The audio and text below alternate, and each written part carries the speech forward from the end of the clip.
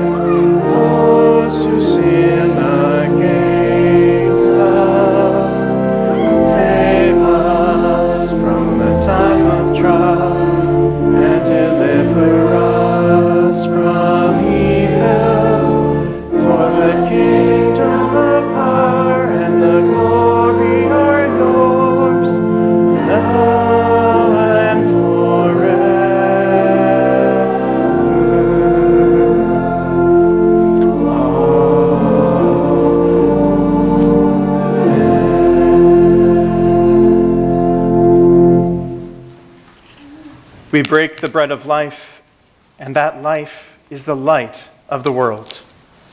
God here among us, light in the midst of us, bring us to light and life. A few words of instruction before you, we begin to receive.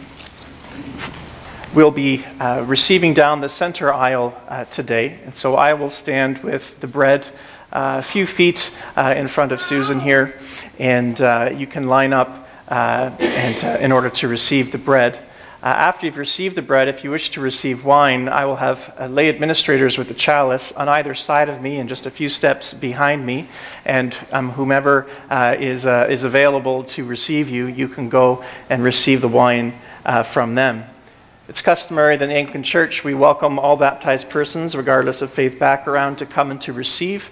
You may wish to receive both the bread and wine or solely the bread. Both are considered receiving full communion. If you uh, don't wish to receive for any reason, you can still receive uh, a blessing, and I would say a special prayer for you. And you can indicate this when you come forward to me, crossing your arms across your chest. And we will start uh, with those of us who are up here, and then we'll begin starting with, with the family here. If you're on the side, pews, folks, uh, treat this end as the beginning, and then folks can follow you that way, uh, given where I'll be placed. I will say that one of the last jobs that Susan was being trained for here in the church, along with Deborah, was to be a lay administrator, to administer the chalice as part of our Eucharist celebration. She had a very rich and real sense of the meaningfulness of this custom in the church. For her, it wasn't simply a ritual, but it truly brought her into deeper communion with her Lord. And it was something I was very pleased to be able to help her with. And again, seeing her grow so much in, um, in her sense of God's presence with her in that time. So as we receive, we do so at the table of the Lord in the company of Susan and all the saints.